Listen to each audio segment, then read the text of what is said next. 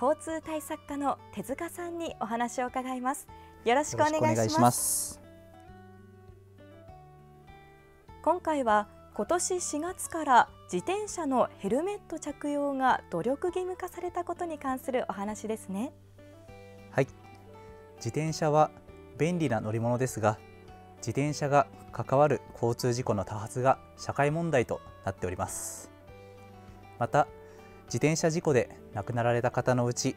大半が頭部の損傷が主因で亡くなっております。そこで令和5年4月から改正道路交通法が施行され子どもから大人まで自転車利用者のヘルメット着用が努力義務となりました。大人も子どももヘルメットを着用して自転車を安全に利用しましょう。全世代の方のヘルメット着用が努力義務化されたことがポイントですね。はいそうなんです。また親御さんなどが幼児用座席に未就学の子供を自分の自転車に乗せて走る際も乗車用としてヘルメットをかぶらせるよう努めなければなりません。また同様に幼児13歳未満の児童を保護する。責任のある方は幼児児童自身が自転車を運転する時も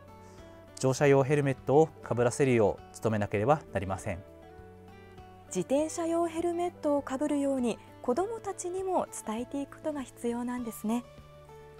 調布市ではヘルメットの着用を促進するためにどういったことをしていますか？はい。調布市では自転車用ヘルメット着用促進事業を開始いたします。この事業は普段自転車を利用されているけれどもまだ自転車用ヘルメットを持っていないという調布市民の方に向けて今年の8月1日から特定の対象店舗で安全基準を満たした自転車用ヘルメットを購入する場合申し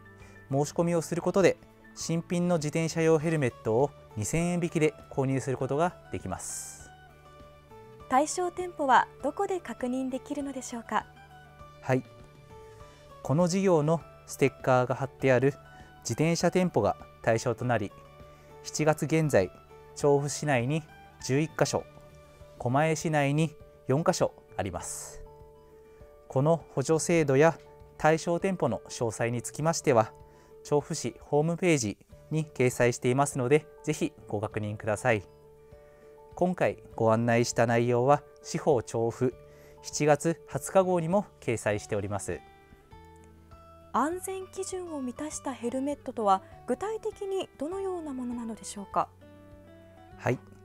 自転車用ヘルメットには安全基準を満たしたと認証を受けている安全認証マークはいろいろな種類がございます。一例を挙げますと国内規格では SG マーク JIS マーク JFC マーク海外規格では CPSC マーク CE マークなどが挙げられます。普段自転車には乗るけれどもまだ自転車用ヘルメットを持っていないという方にぜひ活用していただきたいですね。自転車事故の時ヘルメットを着用していない時の亡くなるリスクは着用している時の3倍のリスクだと言われております。まだ自転車用ヘルメットを持っていないという方はこの制度を活用してぜひ自転車用ヘルメットの購入を検討してみてください。自転車用ヘルメットの購入を検討している方はぜひこの市の制度を利用していただきたいですね。調布市におきましても秋頃に自転車安全利用講習会というどなたでも参加できる座学型の講習会を実施する予定です。自転車用ヘルメットの着用促進のほか自転車保険の加入についてやながらスマホの危険性ルールなどを講義形式で分かりやすくお話しします開催時期の詳細は追って司法などでお伝えいたします普段自転車を利用される皆様はぜひご参加ください。この講習会はぜひ市民の皆さんに参加していただきたいですね交通対策課の手塚さんにお話を伺いました。